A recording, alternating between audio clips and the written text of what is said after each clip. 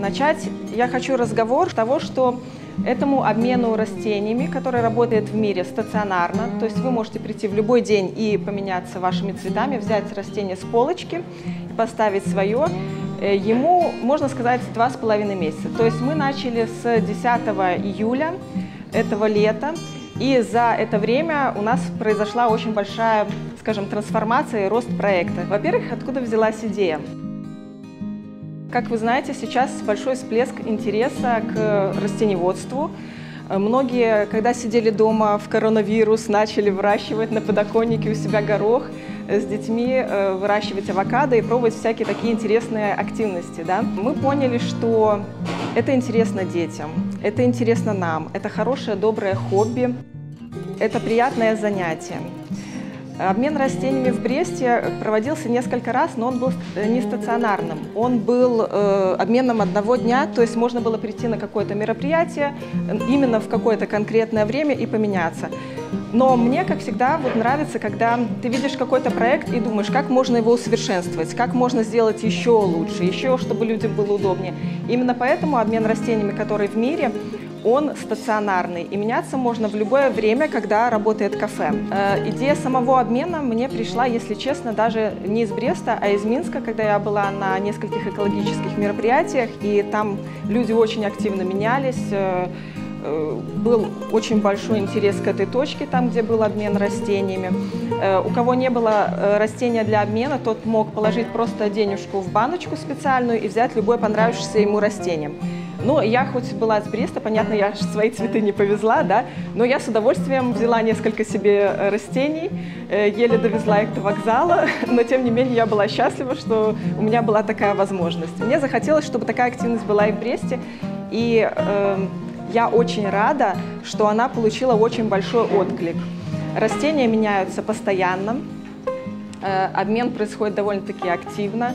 Э, я уже рассказывала, что про наш обмен растениями было снято уже четыре передачи, э, две статьи в прессе.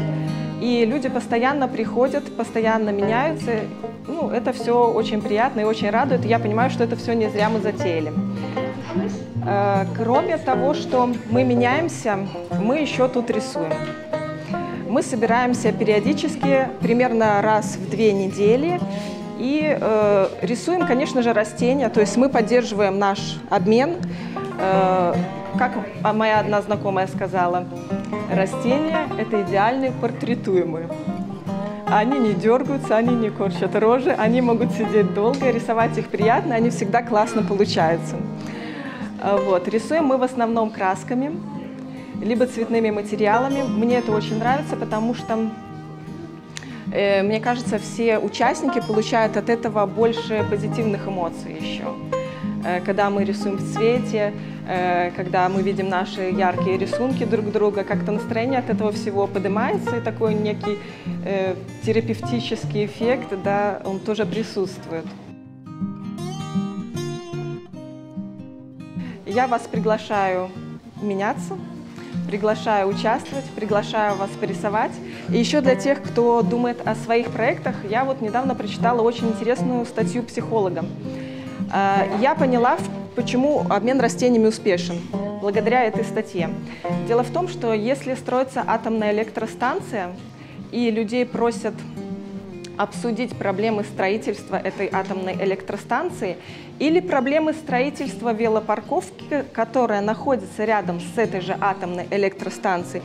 Чисто из психологии люди будут обсуждать проблемы велопарковки.